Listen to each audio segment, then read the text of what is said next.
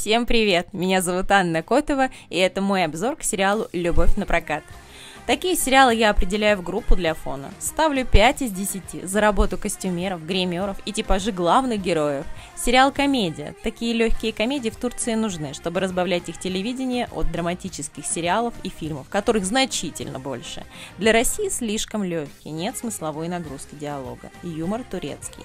Пара Омер и Дефне слабая, типажи и темперамент подходят, только не заводят. Спасали второстепенные герои.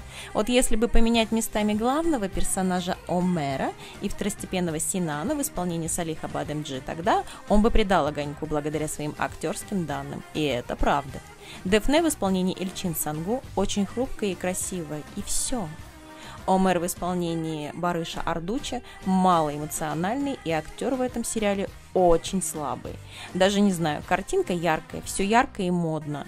Одеты красиво, макияж шикарный, как и прически. Сценарий простой и незамысловатый, акцент ставился на красоту актеров и актерскую живость второстепенных персонажей. Сериал как невкусная конфета с красивым фантиком, обертка красивая и яркая, как хвост павлина, а вот содержимое вроде сладкое, но невкусное. Так и здесь, вроде веселенько, но как-то пресненько и неинтересненько. Скучно становится после второго поцелуя главных героев. Я им не верила, это правда.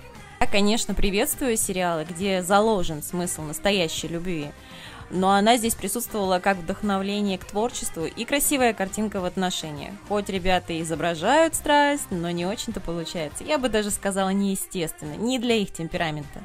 Мне бы хотелось получить хотя бы легкой смысловой нагрузки для ума во время диалогов главных героев.